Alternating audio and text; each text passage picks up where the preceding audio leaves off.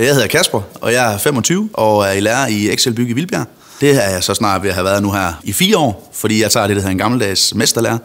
Jeg brænder måske nok mest for kundekontakten. Den ene dag, så kan du øh, sidde med tømmermesteren, der omsætter for x antal millioner om året, og så 10 minutter efter, så kan du stå øh, med herre og fru Jensen og øh, prøve at guide dem igennem, hvordan de nu får lavet deres øh, lille solterrasse eller deres øh, nyanlagte blækning eller sådan noget. Så det, det er fedt. Man, man føler, at man giver dem en håndsrækning. Når de så går ud af døren, så har jeg i hvert fald som regel en opfattelse af, at de går hjem med en god ro i maven og føler, at de har fået den rådgivning, som de nu er kommet efter. Altså man kan sige, at det gode ved at være elev i Excelbyg, det er, at du faktisk stort set fra dag 1 af får en eller anden form for opgave. Og så i takt med, at du hvad kan man sige, bygger mere på i din viden, jamen, så får du også nogle opgaver, der bliver lidt mere krævende.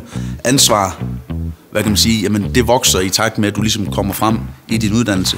Og du får, hvad kan man sige, en masse produktkendskab, Øh, men samtidig får du også lov til den anden del, hvor du får lov til at møde mennesker, der kommer fysisk i forretningen, og du får lov til at lange nogle varer over disken. Der er ikke to ekspeditioner, der er ens, fordi der er ingen mennesker, der er ens. Og det er i hvert fald noget af det, der driver mig i min hverdag. Det er jo en branche, hvor vi skal vide lidt om tømmerfaget, lidt om murfaget, lidt om en entreprenør, og, så det er meget bredt.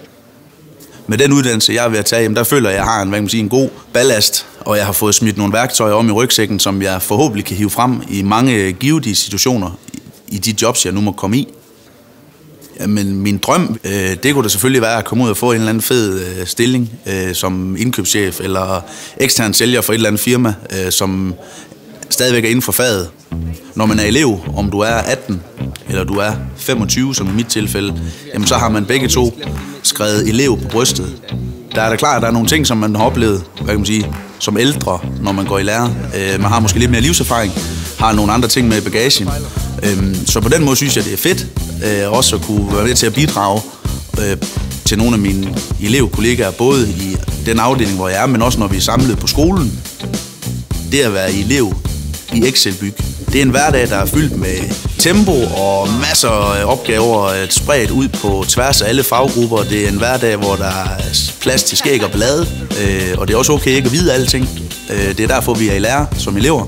Og når der så er nogle ting, vi lærer undervejs, jamen så er det jo nogle af de ting, eller succesoplevelser, du så pakker ned i rygsækken, og så måske kan hive frem igen om 10-15 år, fordi det lærte jeg dengang, jeg var i lære. Og det glemmer man aldrig som regel.